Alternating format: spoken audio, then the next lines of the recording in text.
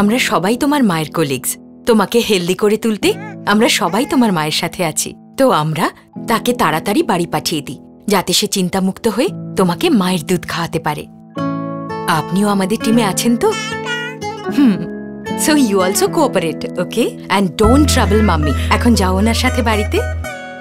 But ma'am ওই project একে super baby করে তোলাও তো আমাদের সবার project don't worry about anything মায়ের দুধ শুধুমাত্র মায়েরই দায়িত্ব নয়, মা যাতে স্তন্যপান করাতে পারেন, আসুন সেই জন্য নিজের দায়িত্ব পালন করি। আপনি কি করতে পারেন তা জানার জন্য ক্লিক করুন। Nestle start healthy stay healthy